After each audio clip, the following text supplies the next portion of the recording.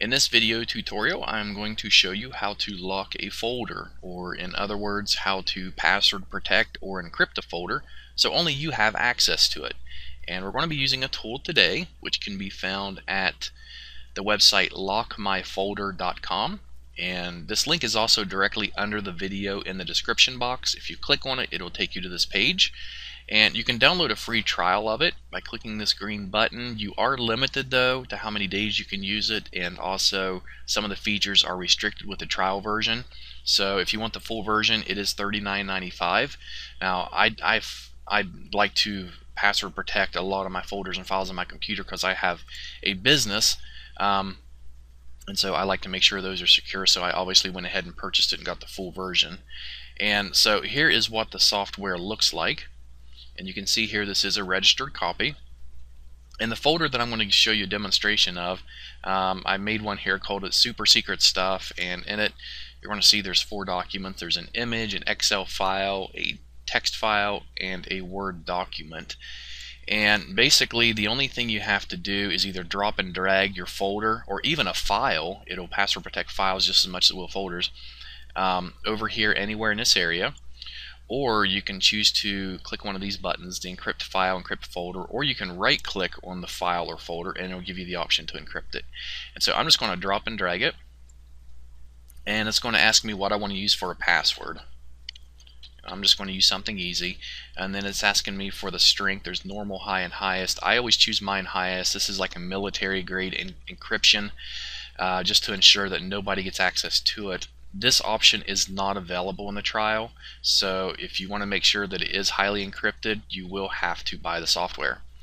And then there's the option for local and hidden, and local means that the folder will still be visible. If I click hidden, uh, the folder will disappear from my desktop and will not be seen. The only place it'll be seen is here within the software where I have access to view it. Now the software itself can also be password protected so nobody can open it up and see what files or folders you have encrypted as well. So we're just going to keep it on local and choose encrypt. And it moved it. For some reason after I encrypted it, always moves it. But you can see here now the folder has a lock icon on it. So if I try to access it, it's going to tell me it needs a password. So I'm going to enter it and then I get to choose a mode for browse which automatically re-encrypts the folder when I close it. Um, temporary which gives me the option to password protect it or leave it open or completely remove the password protection. That's what I'm going to do right now I'm going to choose decrypt. And you can see here there is no lock icon now.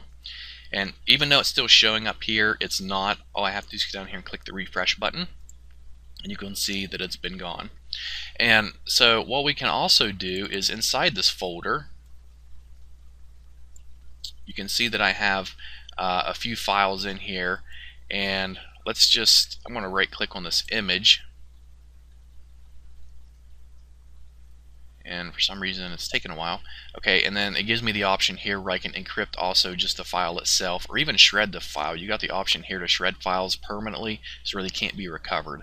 But if I choose encrypt it's going to ask me for a password to encrypt the image.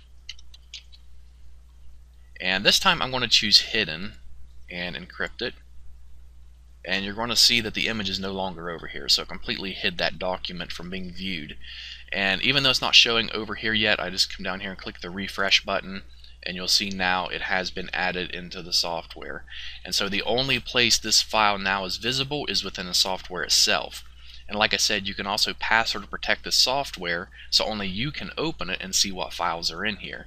And that's done within the settings here. In the security, where you can choose run the application with a password and then choose your password.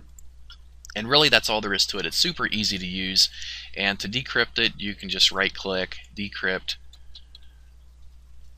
and it's it's restored. And there's the image back again.